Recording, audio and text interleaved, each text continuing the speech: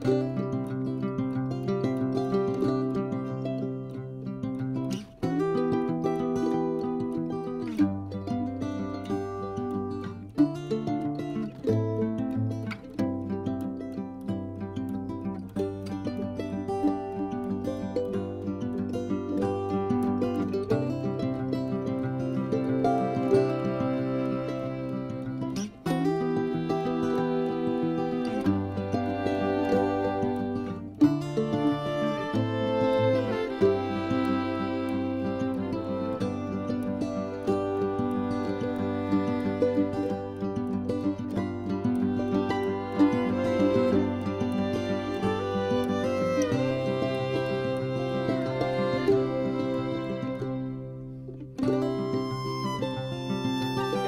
got to focus on hitting diamond.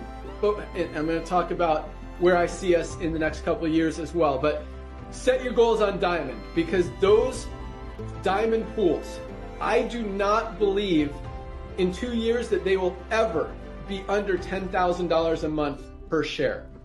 Get to diamond, maintain diamond. And it's going to be a lot, it, very easy to maintain because this membership is just getting more and more valuable every single month. And we guys see some of the stuff that we're rolling out. I mean, it is beyond products, it is systems, it is life changing things that not only are going to help a ton of people, but this industry has never seen.